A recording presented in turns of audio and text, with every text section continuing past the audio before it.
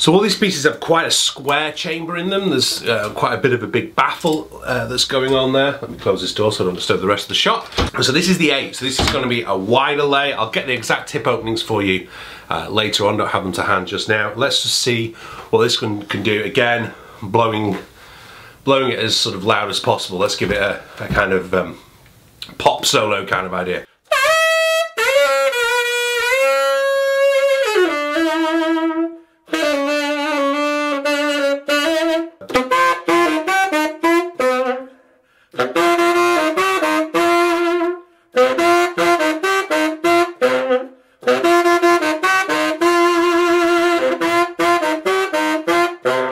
This has got a lot of power.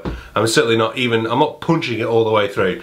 Um, but you can tell there, just straight on the nail, straight there. So if I was doing a sort of pop, rock gig, soul band kind of gig, this mouthpiece would be a, a, a superb choice because it's just going to cut through the rest of the ensemble.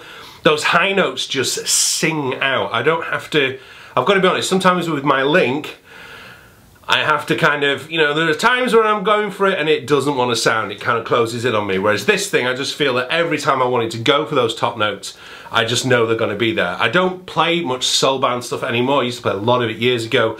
And, you know, you've got to hit those solos straight out of the box. You know, you can be playing, you know, to kind of like massive concert halls full of thousands of people you don't want to split a note at that exact moment. So I feel that, you know, you'd have the confidence with this Yanagisawa. Uh, let's just try something, again, let's play a nice soft ballad. Played Sentimental Mood last time, let's do Body and Soul this time.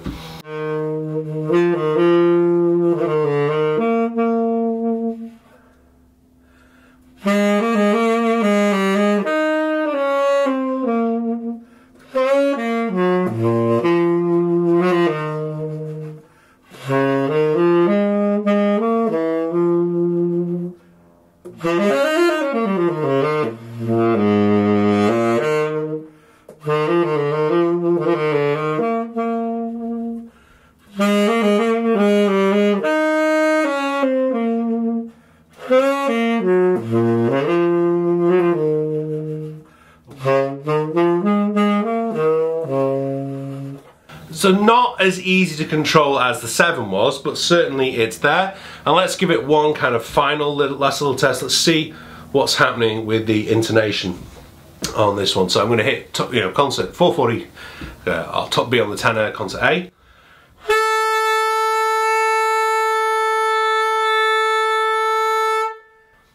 That was pretty much in tune. My armature was a bit out though.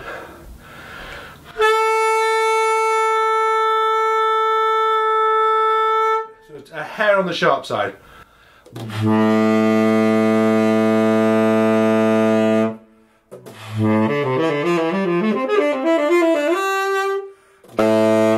I mean, the null beads are not going to creep out. I, again, remember there's very much a personal thing going on here. For me, wide lay mouthpieces are great for punching through, especially high notes. You don't tend to play too subtly on a big wide lay mouthpiece. I don't anyway. Um, again, that just might be the way I am. I prefer six sevens for doing that. And speaking of which, let's give uh, the Yanagisawa 6 tenor mouthpiece one little try.